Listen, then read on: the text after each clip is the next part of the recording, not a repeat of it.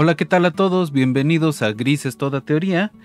Y el día de hoy vamos a seguir hablando eh, en el curso de Introducción a la Geometría Avanzada de este, eh, puntos y rectas proyectivos.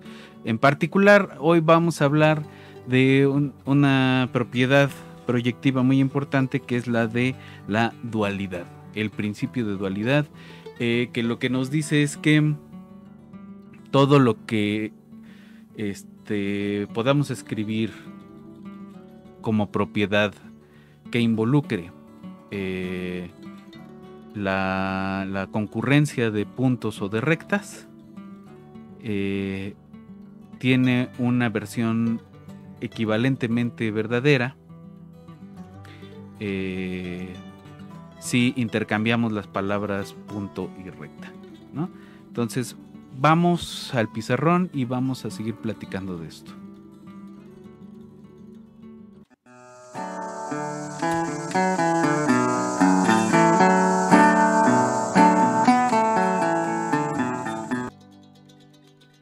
Ok. Entonces vamos a hablar sobre el principio de dualidad.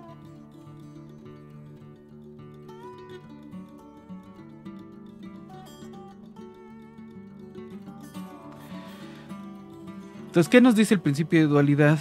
Eh, que si una propiedad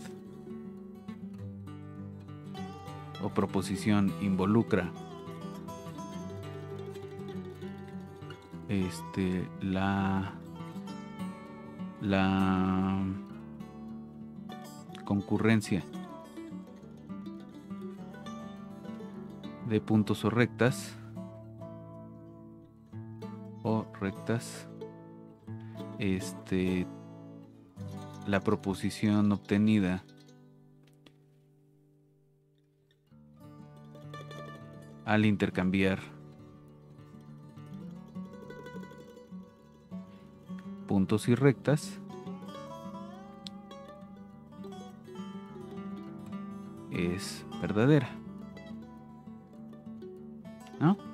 Es decir, todo lo que podamos probar que tenga que ver con concurrencia de puntos tiene este, una proposición dual que también es verdadera, que es este, con concurrencia de rectas en vez de puntos.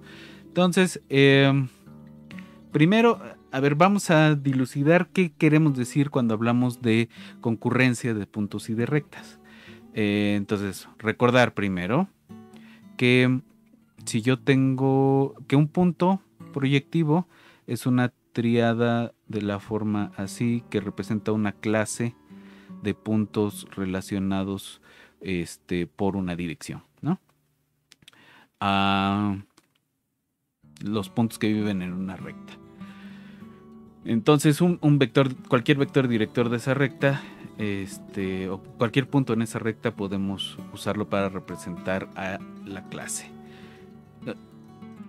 Pero vamos a tomar otro, otro punto. ¿Por qué? Porque queremos pensar en rectas. Entonces queremos que dos puntos determinen una recta.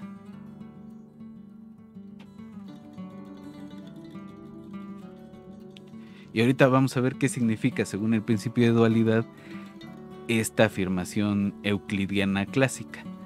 Entonces, dos puntos determinan una recta, significa que estos dos este, van a determinar este, la recta que pasa por esos dos puntos.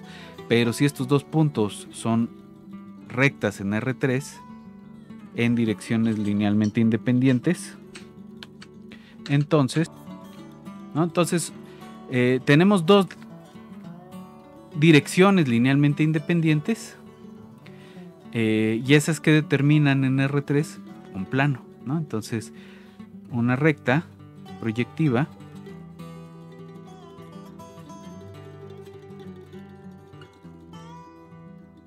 es un plano en R3. ponchado. ¿no? Eh,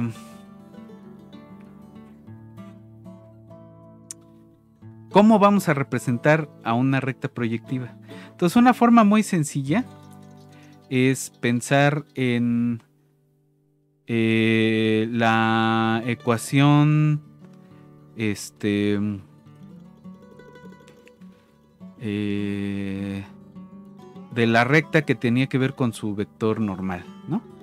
Este, del, perdón, del plano que tenía que ver con su vector normal, ¿no? Es decir, si yo sé que este plano que representa una recta proyectiva, eh, digamos que eh, tenemos ABC es el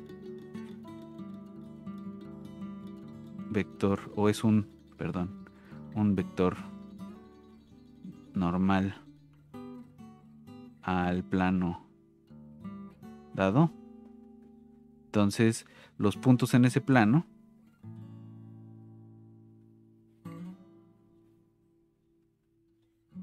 son de la forma este A B C punto x y z igual a 0, es decir, que están dados por el polinomio ax más by más cz igual a 0. Entonces bien podríamos simplemente representar a la recta con las coordenadas del vector normal. Entonces, ABC va a ser una recta proyectiva, ¿no? representada por su vector normal o por su dirección normal en R3. Ok. Ahí está. Ahora, ¿qué queremos decir con eh, concurrencia? Entonces, vamos a decir que tres puntos concurren. Si son colinales. Y tres rectas entonces concurren si este, tienen un punto común, ¿no?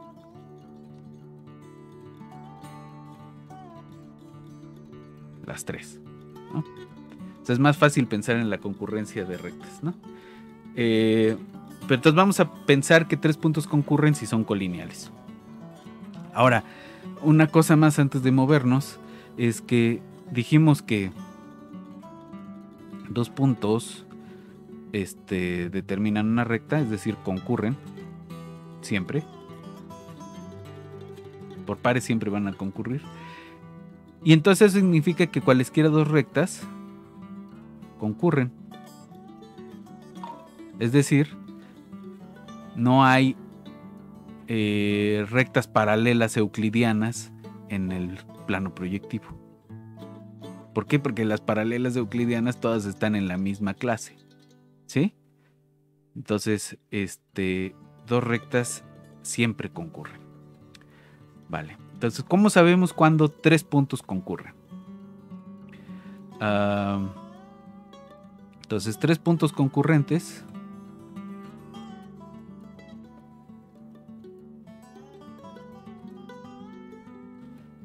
¿Qué significan, no? Son, corresponden con tres rectas que en principio son LI. ¿No? Entonces, si son tres puntos que concurren, que están en una misma recta, digamos que una recta era un plano. Entonces son tres rectas eh, coplanares. Y dos rectas siempre son coplanares.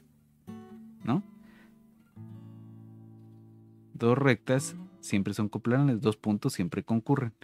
Entonces, eh, ¿qué tiene que pasar con la tercera? ¿no? Entonces la tercera recta, la tercera recta debe ser linealmente dependiente. ¿no? Es decir, que si yo me tomo los tres puntos, digámosles A, B, C, D, E, F y X, Y, Z. Entonces lo que tiene que pasar es que si yo me tomo la este, matriz construida con estos vectores como columnas o renglones, digamos que con renglones, A, B, C, D, E, F, X, Y, Z. Entonces si yo tomo el determinante de esto, ¿qué debe pasar? Pues yo quisiera que este fuera combinación lineal de estos dos, pero entonces el determinante se va a anular. Esta condición de aquí es la condición de concurrencia para puntos. Entonces, tres puntos concurren.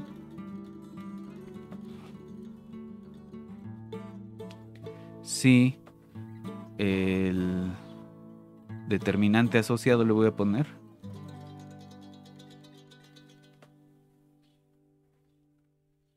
se anula. Y por dualidad, tres rectas concurren si el determinante asociado se anula. ¿no? Simplemente estamos intercambiando rectas y puntos. Ok. Entonces vamos a ver. Eh, esto va a ser importante después, ¿no?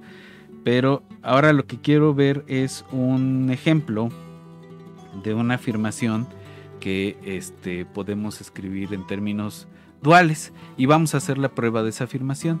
Entonces, eh, es el famoso teorema de Desargues.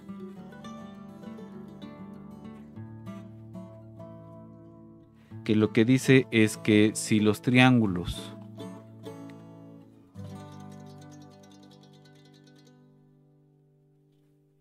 eh, A, B, C y A', B', C', eh, son tales que las rectas eh, por vértices correspondientes, es decir, el AA', BB', etcétera,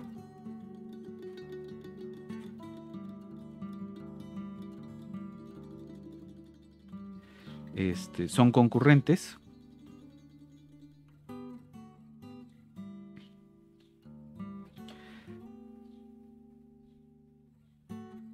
Entonces las intersecciones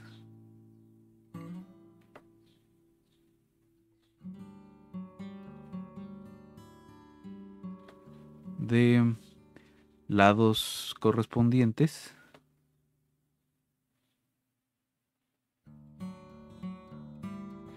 son este colineales.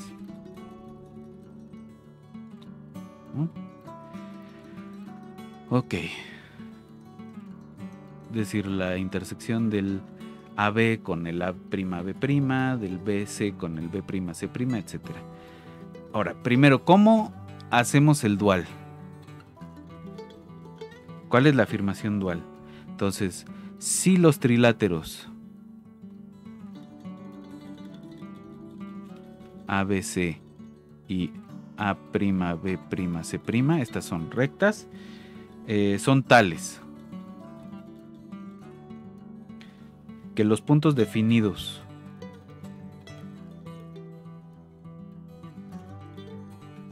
o determinados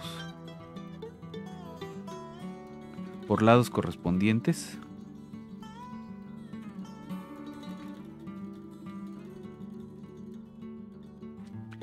digamos A, A', B, B', C, C', este, son colineales.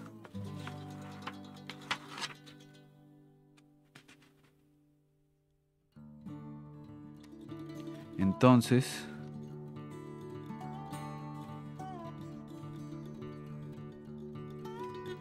las rectas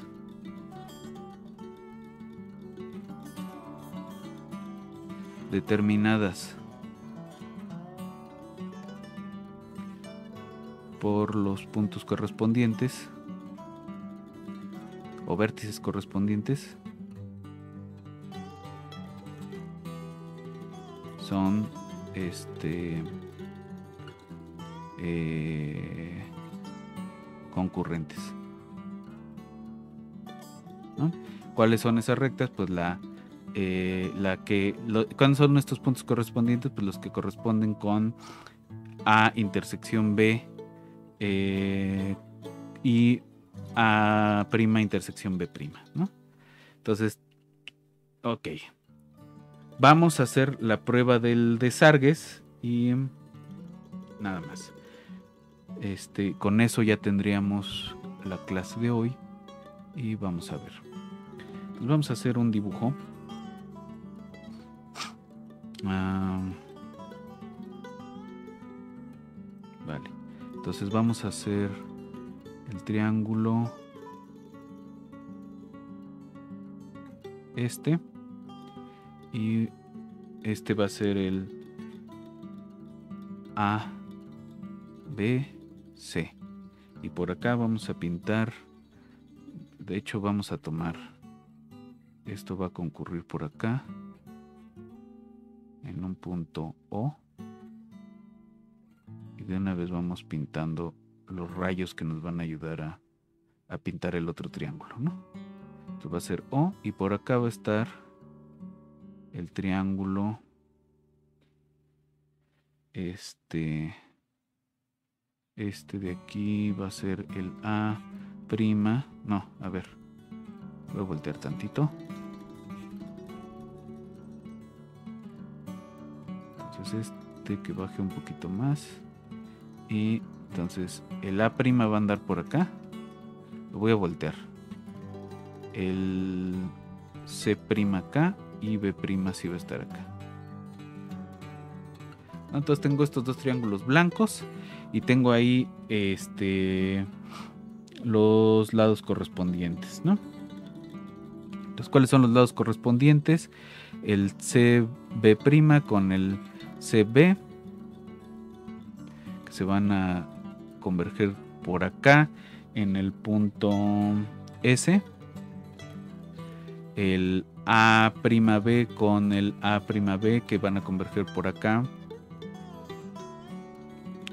en el punto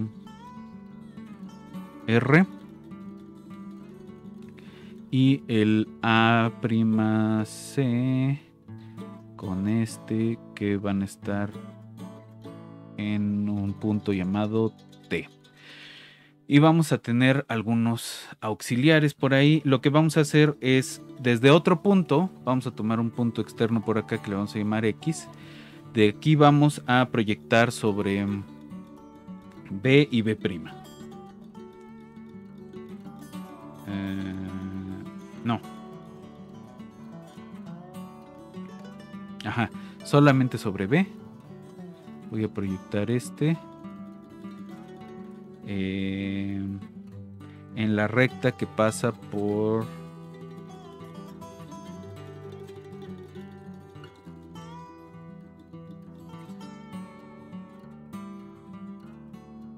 bueno una recta que pase por O ¿no? por acá Hoy. algo así y entonces también voy a proyectar el B esta recta digamos en este punto. Y voy a tener dos triángulos rojos. Eh, digamos, el...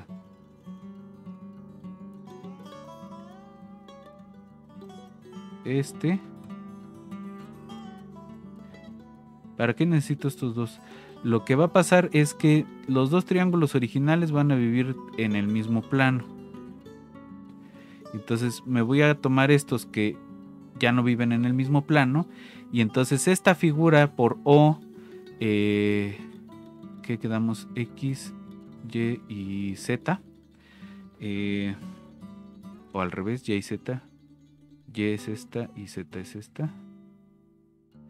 Eh, esta figura por O, Y, Z, A, C, A', C', es en realidad una pirámide y vamos a jugar con esa idea, ¿no?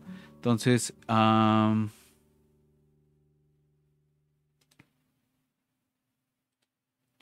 vamos a escribir la demostración y con eso terminaríamos el día de hoy. Entonces, prueba. Eh, entonces, los puntos O, A, B, C, este, A', B', C', R, S y T son coplanares. Todos. Eh, X es un punto fuera del plano.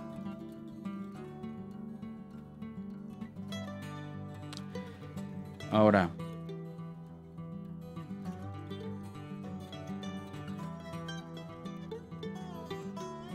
ajá, en la recta XB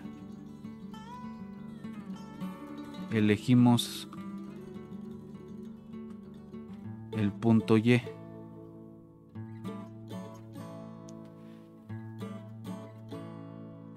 Y vamos a llamarle Z a la intersección de eh, XB'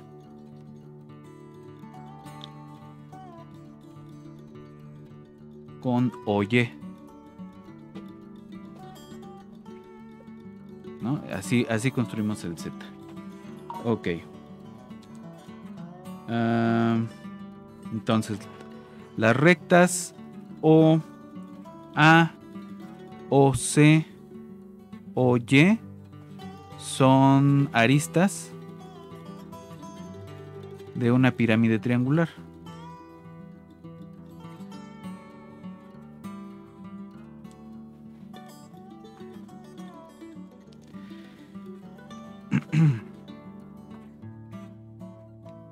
Los triángulos eh, rojos, que son el A, Y, el eh, A', Z, C', este, son secciones planas.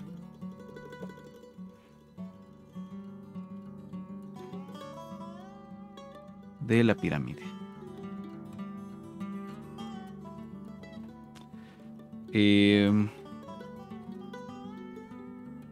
Ok.